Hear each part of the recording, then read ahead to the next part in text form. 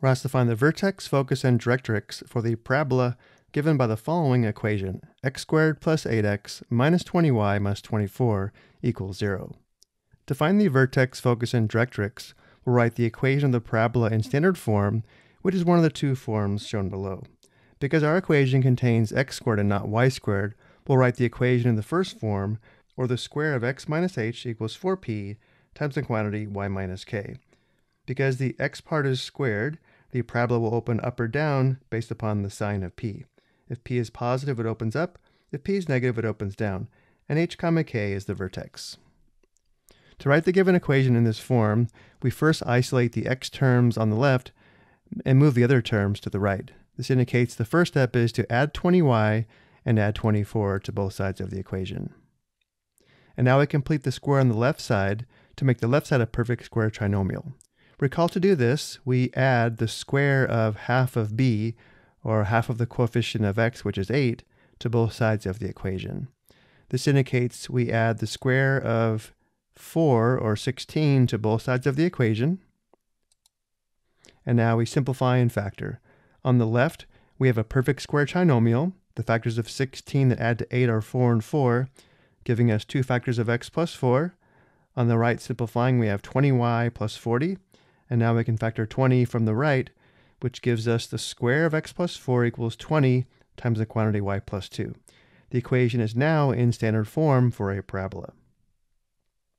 Again, the x part is squared, indicating the parabola will open up or down, but because 4p is equal to 20, p is positive, we now know the parabola will open up and will resemble the parabola shown here on the far right in our notes.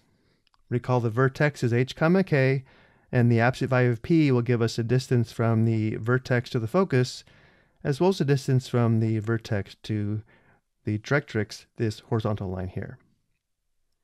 So for the next step, let's go ahead and find the vertex, which is h comma k.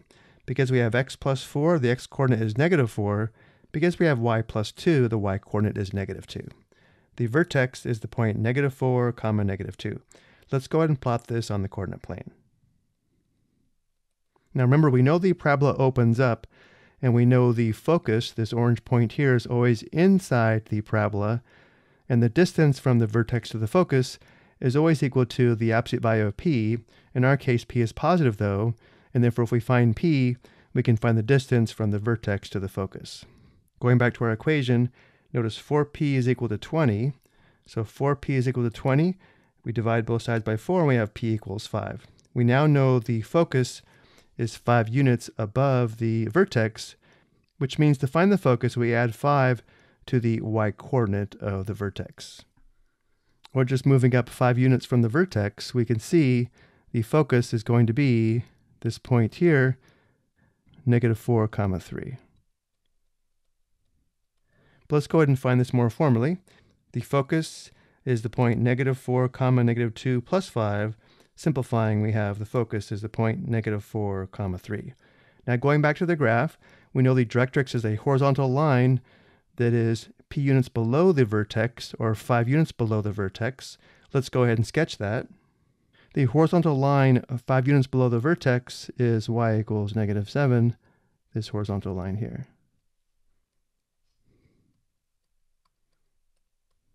More formally define the equation of the directrix, we would subtract 5 from the y-coordinate of the vertex, giving us y equals negative 2 minus 5, or y equals negative 7. And before we go, let's go ahead and graph the parabola. The parabola would look something like this.